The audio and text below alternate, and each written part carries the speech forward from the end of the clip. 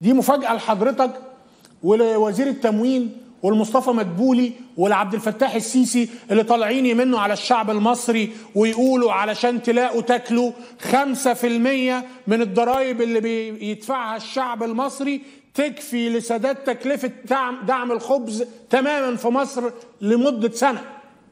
خمسة في المية من الضرائب اللي بيدفعها السيد المواطن المصري في الس... يعني الخمسة في المية دول بس يكفوا ويفيدوا لسداد تكلفة دعم, دعم الخبز بالأرقام. عشان ما يطلعوش السريحة يقول لك هات الأرقام تعالى قدام حضرتك أهو. 2 تريليون جنيه ضرائب بيدفعها المصريين. دفعوها ولا زال في السنة دي هيلموا منهم آه خمسة آه حوالي 2 تريليون جنيه. 2024 2025 98 مليار جنيه هو إجمالي دعم الخبز العام المالي اللي جاي. ده بيساوي كام؟ بيساوي 5% من حصيلة الضرائب وده كافي جدا لسداد دعم الخبز. 14 ونص مليار 14 ونص مليار جنيه زي ما مكتوب قدامك ده هتوفرهم الحكومة من رفع سعر الخبز المدعم. وده نسبته سبعة من من عشرة في المية ده نسبة المبلغ المتوفر من تخفيض دعم الخبز من إجمالي الضرائب.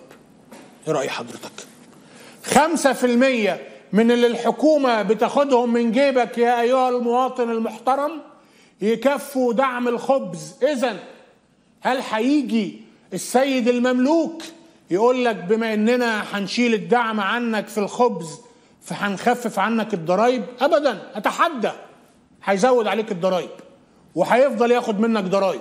مش عشان يعمل لك انت مشروعات علشان يسدد الديون اللي خدها عشان يبني مجده الشخصي. وفي الآخر كله بحجة الوطن والوطنية. قالها ببجاحة هو أنا ببني عشاني؟ ده عشان مصر. مصر بريئة يا بيه. مصر عندها اصول رئاسية من قبل ما تشوف خلقتك ولا خلقة العساكر. مصر تقدر تكتفي باللي عندها بس أنتوا نفوسكم شحيحة. لازم يروح يجيب طيارات من فرنسا علشان عنده عنده كام دلوقتي؟ كام طيارة؟ 30 طيارة ولا ولا كام؟ هنشوف دلوقتي كام طيارة عنده في الأسطول الرئاسي بتاعه. ولا ولا يا ريت هو يقول لنا عنده كام طيارة؟ بما فيهم زمردة السماء والمش عارف إيه اللي ب 600 الف 600 مليون دولار.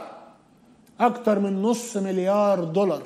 ويجي يقول لك هشيل الدعم عنك بينما انت بتدفع ضرايب ومحدش ليه حاجة عنك.